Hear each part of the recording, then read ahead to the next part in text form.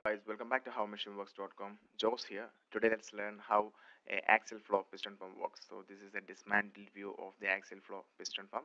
Let's identify all the internal components and learn its working. So those are the pistons arranged over there. See the pistons actually uh, protruding outside the cylinder block. Okay, and that's a swash plate over there where the pistons actually slide.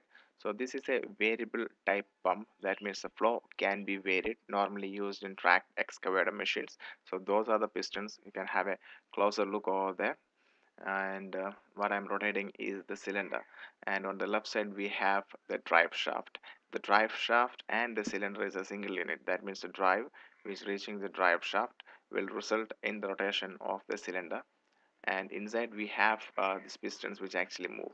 So when the swash plate is vertical there is no flow and as the swash plate angle changes that's a swash plate over there.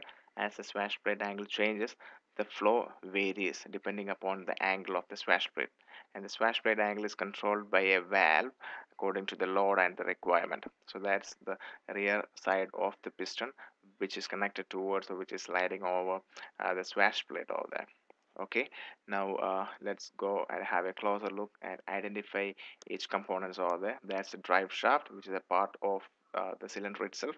Uh, the drive shaft gives drive towards the cylinder and that's the swash plate which I told the pistons are resting and sliding over. The swash plate angle changes the flow varies.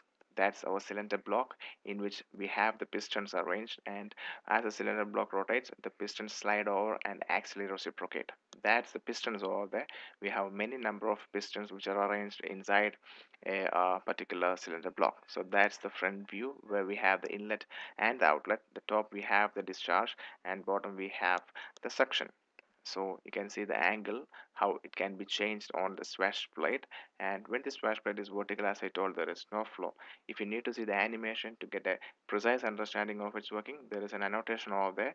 Click on the annotation and see the animation of the axial flow piston pump. Okay watch the full video and go to that. So that's the, I already showed the rear view over there. And that's actually uh, uh, resting on the swash plate now let's remove the pistons outside. So those are the pistons been taken. So the o-ring gone down, down I think. Okay we have the pistons over there.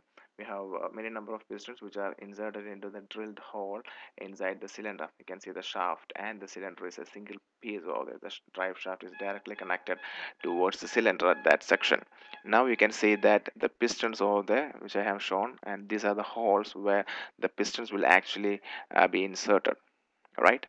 Okay now you can see the cylinder once again and the different angle uh, of the cylinder. Now uh, we'll be keeping the piston back into the cylinder block and let's see how uh, it can be assembled back. And make sure that when once it is removed it should be given back into the same port and should not be changed because they have already mated and uh, scoring marks will be uh, like a male female scoring mark so it has to be inserted in the same port so that's how it looks.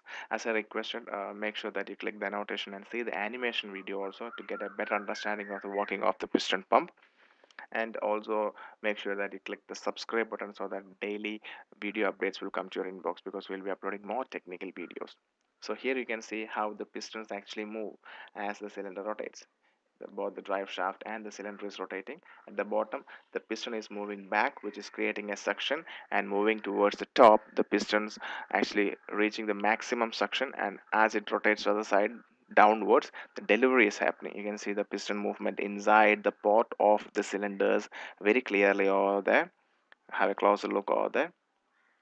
And that's how it exactly works. The change in swash plate directly affects the flow. When increasing the angle flow increases and decreasing the angle flow decreases because when the swash plate is vertical there is no piston movement that is there is no axial movement of the piston and no flow is happening. So as i requested please subscribe like comment share to motivate our team. You can also see the description for more detailed links. Thanks for watching this video.